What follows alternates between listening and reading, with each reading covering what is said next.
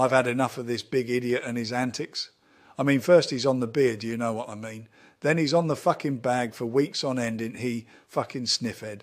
Then out of the fucking blue, he's on his knees giving out a fucking Hail Mary and a fucking Our Father. Then he wants to fight the best. Then he wants to fight Otto fucking Wallin. Then he wants to fight Usyk and pays a fucking sparring partner to split his fucking eye open just so that big idiot can avoid losing. I tell you what, he's more trouble than he's fucking worth, that man. More trouble than he's fucking worth.